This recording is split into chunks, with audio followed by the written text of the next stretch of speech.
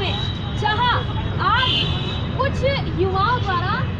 अंबेडकर युवा एकता समिति के द्वारा, यहाँ पर बाबा साहब अंबेडकर, यानी कि बोधिसत्व अंबेडकर जी का आज के दिन परिनिर्वाण दिवस मनाया जा रहा है। आइए और जानते हैं, यहाँ पे जितने भी जो युवक आज के दिन यहाँ पे आए हैं आइए जानते हैं और उनसे बात करके देखते हैं कि उनकी क्या राय है क्या फील करते हैं क्या महसूस करते हैं बाबा साहब के अ, इस दिन पर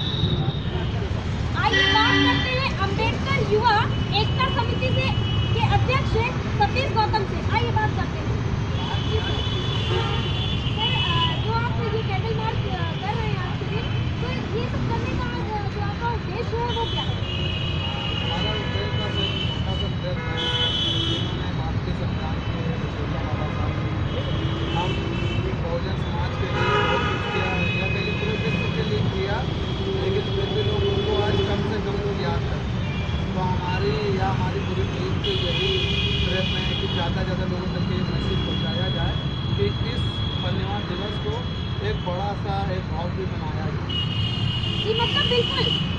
जैसा कि आज बाबा साहब का 6 दिसंबर बाबा साहब का परिनिर्वाण दिवस है, इसके उपलक्ष्य में आज न सिर्फ़ बुज़ुर्ग, बल्कि युवा समिति, यानी कि अब जो युवा हैं, वो भी आए हुए तो आइए बात करते हैं इन्हीं इन्हीं युवा में से।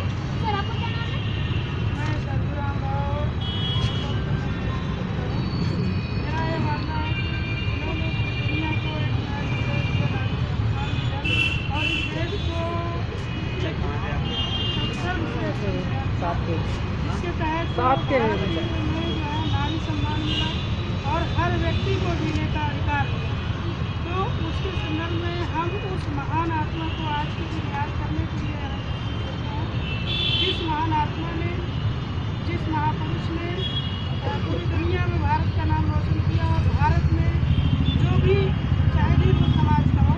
सबको जीने का अधिकार दिया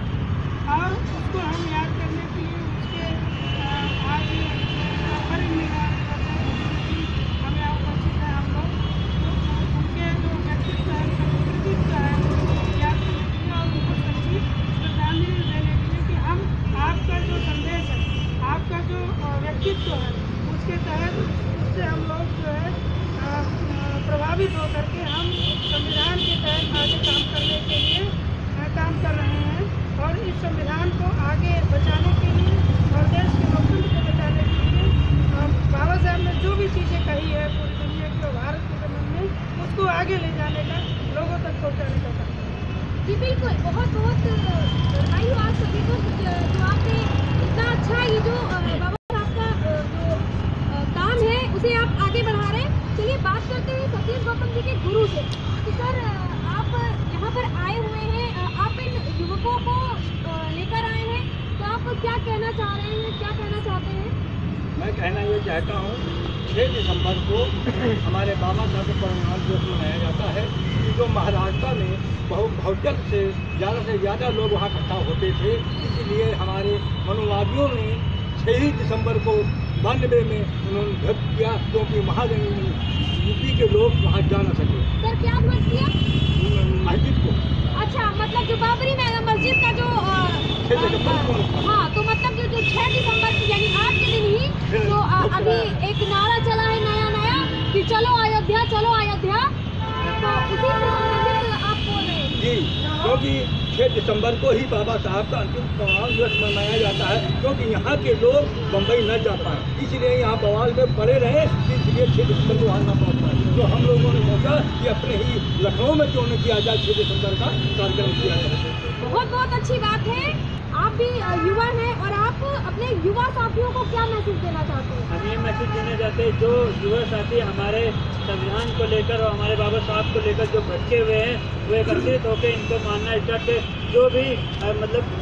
जो भी उधर उधर की शक्तियाँ हैं, उनसे जो माइंड इस समय डिप्रेशन में है कि मतलब भूले भटके लोग हैं, इधर चले जा रहे हैं, उधर मतलब अगर माँ बीमार है तो माँ को छोड़ के कह दिया कि वहाँ चले जाओ बेटा, दस किलोमीटर दूर तो ठीक हो जाएगी तुम्हारी माँ। ये नहीं करे कि माँ के पास रहो तो सब ठीक रहेगी। जो जो कानून में लिखा हुआ है, जिस, जिसके जिसके बेस पे हमारा ये इंडिया चल रहा है, उनको मानने के लिए हम लोग आज संविधान दिवस मना रहे हैं, उनको जी बिल्कुल। मतलब कि बाबा साहब भीमराव अंबेडकर, जिन्होंने भारत का संविधान बनाया ना सिर्फ़ एक जाति के लिए, बल्कि सर्व समाज के लिए, सभी के लिए एक जैसा संविधान बनाया। उनके संविधान को चलाते हुए इस देश के जो युवक हैं